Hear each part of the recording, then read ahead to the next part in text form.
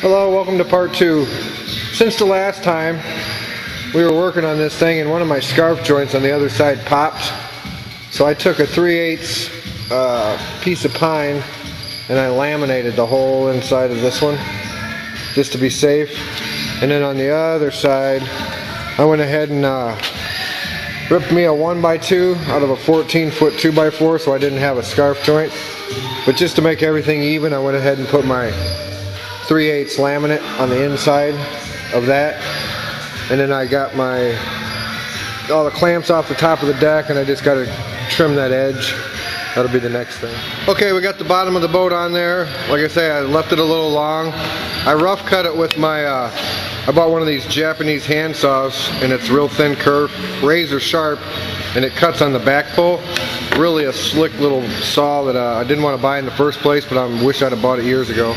And then uh, once you do your rough cut, you just hit this edge with a little plane. I just got a little Kobalt plane.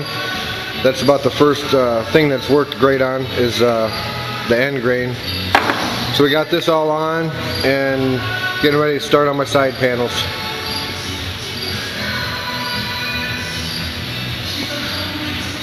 Okay, as you well know, when you're cutting these boards, they're going to have a little bit of a radius to it, I'm assuming.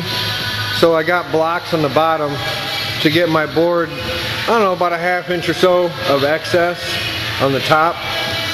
And then I'm just going to give myself a pencil line on the bottom and then uh, so I kind of know better where I'm cutting instead of uh, cutting a straight strip and chancing it, not fitting because of the radius. Don't have a big radius, but if you look at the front to the back of the boat, it's probably a two inches high in the middle of the bottom. So wish me luck. Okay, made my marks. It ends up being about 13 and three quarter on the, the stem end and about 13 and a quarter on that end. So I'm just gonna, the next one, I'm just gonna cut me a 15 inch strip and then uh, be done with it. This way I don't have to hold the board up on the side of the boat. Kind of drew the stem so I can, you know, jigsaw it a half inch or so long and then uh, start tacking it in place. Okay, I changed my mind. After I cut the piece 15 inches, I put it up there. I remarked it. I cut it like within a 16th but uh, I had to switch my jigsaw blade. I had a 10 or a 12 uh, tooth per inch on there. I had to switch to a 20 because uh, this Luan really uh, splintered up, but the 20 is like beautiful. So the reason I did this too, I left 3 16ths of an inch on the front where it's meeting the stem. I'm going to take my plane and put a bevel on there so that when the two pieces come together, they'll bevel into a, to a nice uh, point. It'll be a, somewhere nice to glue. Okay, I got the first piece just clamped in place.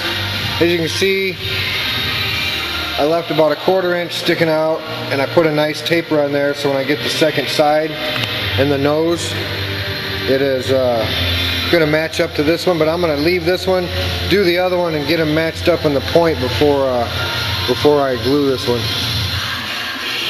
Okay, got the other piece done. Got the fronts both uh, tapered everything perfect.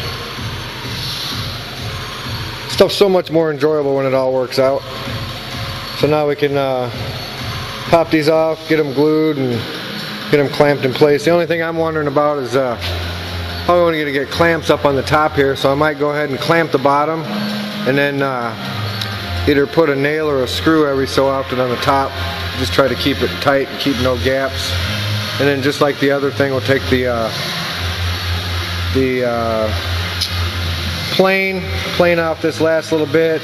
I tried to keep it as close as I could, but you don't want to get stupid because then you uh, end up short and then that, that's no good either. Okay, I got the other two pieces on this end done. They're a little trickier too because you got to make sure you keep this end tight and square. And I do both pieces, like I said before, so I can uh, taper the very tip so that when you go to put them together, you get a nice tight uh, joint.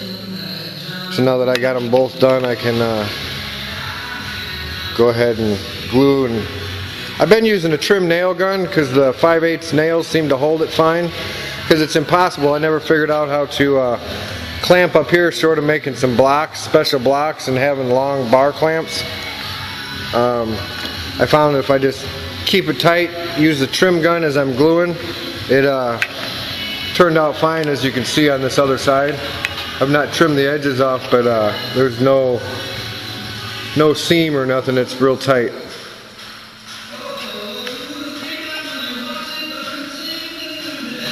Okay, I got all the side panels on, the bottoms on. Fronts are glued to the stems. I trimmed all the excess off the bottom with the plane. Got all the corners sanded nice. So now we're gonna flip it over and see what it looks like. Okay, just got it off the strong back, flipped it over, kind of checking out the way everything lined up and how it looks now that I got it flipped over. Some of the stuff didn't meet up the greatest. The, the sheer clamps, it's touching on the back side where I glued, but uh, all these spots where there's a little gap, I didn't want to tweak the wood. So I'm going to make a, take the epoxy resin and mix it up with some uh, like some sawdust flour and make like a thick paste that I'm to fill in all the gaps. And then you can see like down in the, the front by the keelson and stuff, I'm to fill in all them gaps. A little bit on the side. Taking uh, take my plane, get all the excess off of here, get this all cleaned up, and then I can flip it back over and fiberglass the bottom. My table saw's got a bag underneath it, catches all the sawdust.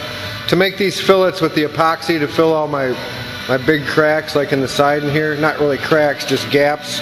I want to fill all of them with fillet material, and then you're supposed to do all your seams where everything meets on the sides and the edges. Um, so what I did is I took this uh, two liter bottle, I cut a piece of, I got a piece of stainless screen, I epoxied it in the bottom so I'm going to scoop up the sawdust and then shake it in here to get all the fine stuff and that's how I'm going to make my...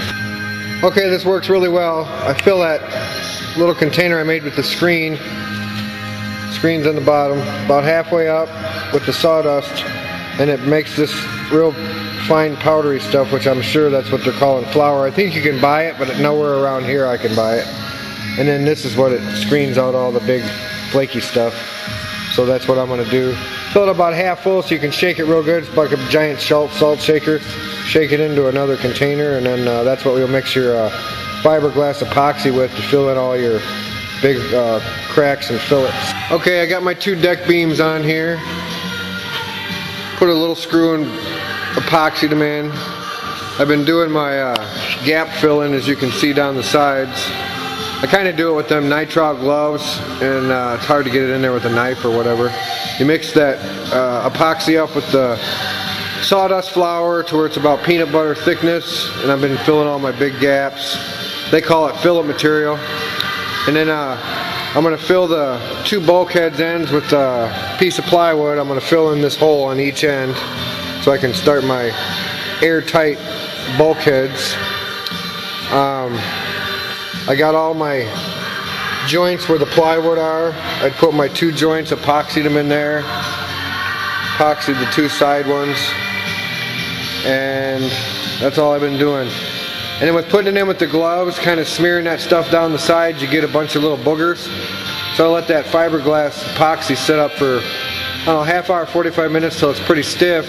And I take my big one inch uh, chisel and just kind of go along and take all the big clinkers off. It'll just help with sanding later.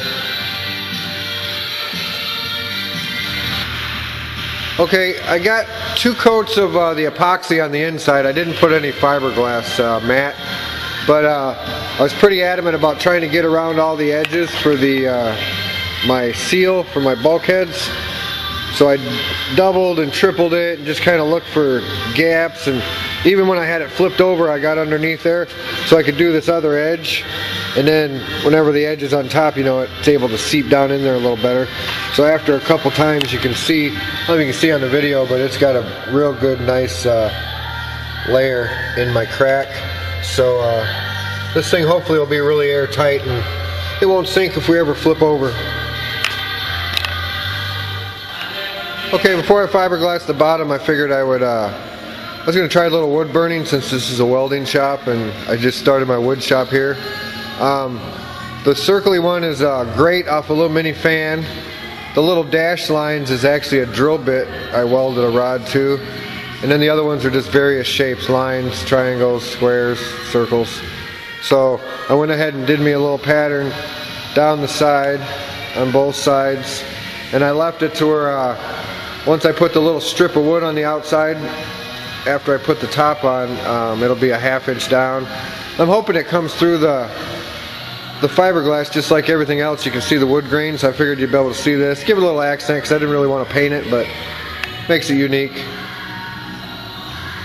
Okay, I flipped it back over before I uh, fiberglass. I wanted to get it on video before uh, I fiberglassed it to see how well it shows up. The uh, the heat caused a little bit of smoky damage on the outside, but I just hit it with sandpaper, left it kind of, uh, you know, kind of smoky, because it is wood burning. Um, but it's going to look fine once I get the uh, fiberglass and stuff on there.